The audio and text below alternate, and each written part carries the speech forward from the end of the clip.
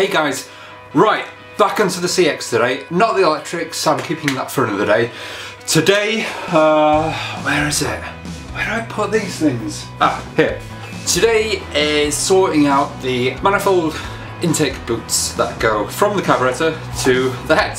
So what I have here is obviously two different ones um, because the way the, the CX500 engine is, the V's aren't actually in a straight line. They are actually one in front of the other if you look at it closely. So that is why one boot is different to the other. But, but, but, these need to be cleaned up. So I've got new rings for these before anyone says anything. Yes, they are fuel resistant rings, fuel resistant, heat resistant. The material is called Viton. They are good for these. And the other thing that I've got an issue with, right there, don't know if you can see that. If you can see that, then you've got better eyes than I have. There's a hairline crack put this back into focus. So there's a hairline crack going right along the edge of this. Now it's not going all the way through, it's only a little crack in the rubber but my worry is that when we put the carbs on and off, uh, shake it around a little bit, that the crack will get a little bit worse. So today I am going to first of all clean these up, secondly fix these, or try to fix these at least. I haven't seen this done before, so I don't know how well this will work. If it was a crack all the way through, then I wouldn't be doing this, but you know, a little, little fracture on the surface, I might as well give this a go. So, what I am going to do is use this. This is heat shrink uh, rubber, in a way, what you use for cables and things. Now, I have been told that this is fuel resistant. Not that it matters though because it's going on the outside. Like I said, if it was going on the inside it would be a different story. This is wide enough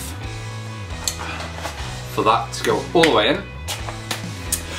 And then we can see if that holds. And what I am going to do as well is put a little bit of gasket sealer just on the crack so that it gives it that extra protection. So that'll become hard um, and also. So that is today's video. But anyway, it all counts towards getting the bike running, so it has to be done. So let's get to it.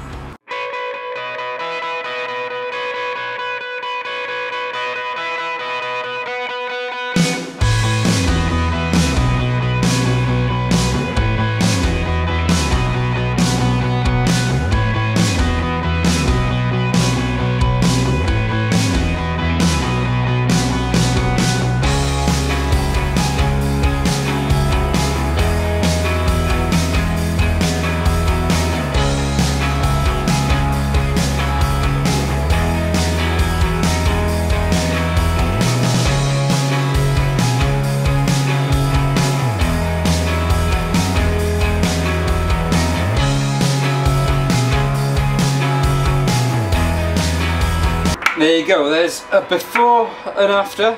Definitely a sign of improvement there. I mean, that's obviously not going to last that long. It will get dirty, it will start oxidizing, it'll start doing everything, but at least it looks pretty for when we put it on the bike anyway.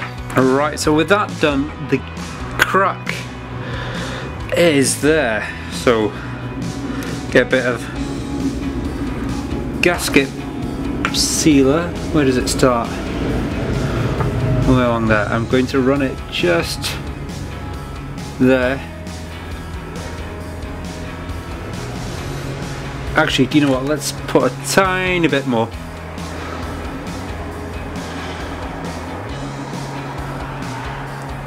And let's leave that to dry. So with that now dry, let's cut this roughly to size.